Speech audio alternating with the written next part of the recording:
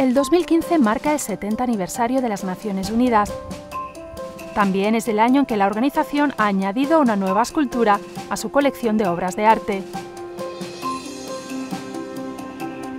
It's very rare for somebody to be given an opportunity to work on something of such historical and cultural significance.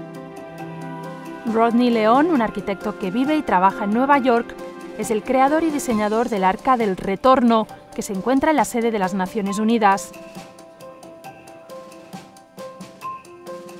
Esta impresionante obra de arte constituye el monumento permanente en conmemoración de las víctimas de la esclavitud y de la trata transatlántica de esclavos. Para la creación de su obra maestra, Rodney se inspiró en la puerta sin retorno de la isla de Gorea, Senegal.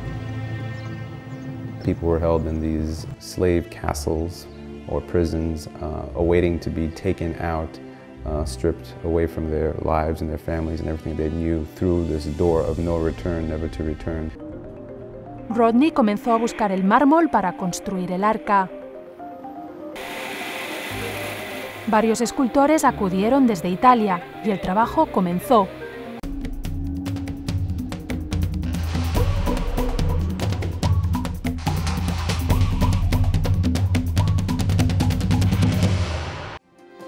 Finalmente llegó el día, el 25 de marzo de 2015.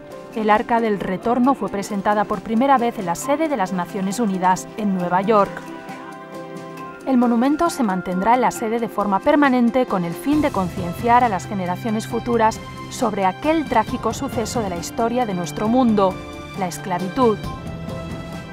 Project like this is a once in a lifetime experience.